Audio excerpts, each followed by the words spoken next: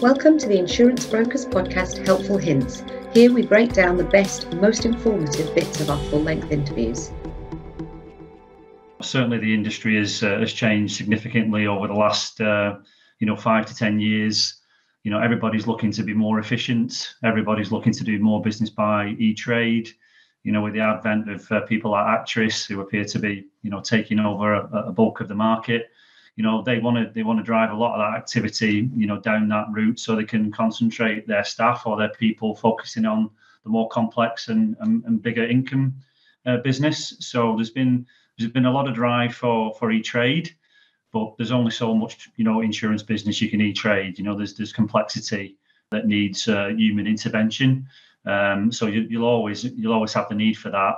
And those insurers that uh, have, have maintained that um, um, you know open for business, uh, uh, here to help sort of uh, attitude have prospered.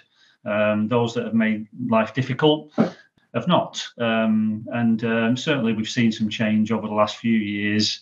You know, during COVID, where you know capacity has been um, reduced, uh, pulled. you know, insurers are looking to sort of uh, reduce lines or pull capacity. Um, but having said that, there's still still lots of capacity out there in the market with with nimble insurers and MGAs who are who are perhaps taking advantage of uh, of that change in the market. Thank you for listening. If you have enjoyed what you have heard, have any questions or feedback, please leave us a review and we will be sure to get back to you. If you would like further information on how Boston Tullis Group can support your business, or if you would like to join us on an episode, please do not hesitate to contact us.